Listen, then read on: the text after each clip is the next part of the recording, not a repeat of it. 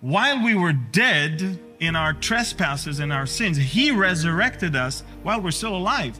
This is not the resurrection from the dead that will happen in the future. So while if the Bible says, if then you were raised with Christ, in other words, if you are a true believer, then what?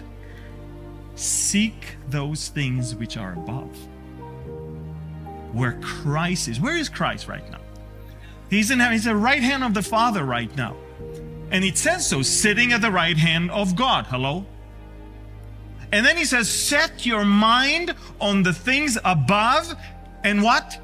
Not on the things on, on this earth.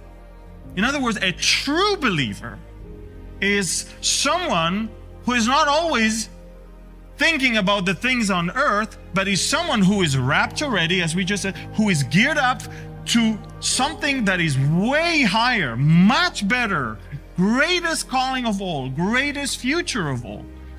This is all temporary here. This is all, I mean, literally, it's all plastic. It's not real.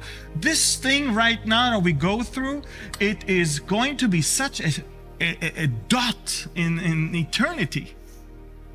And we have to seek those things which are above.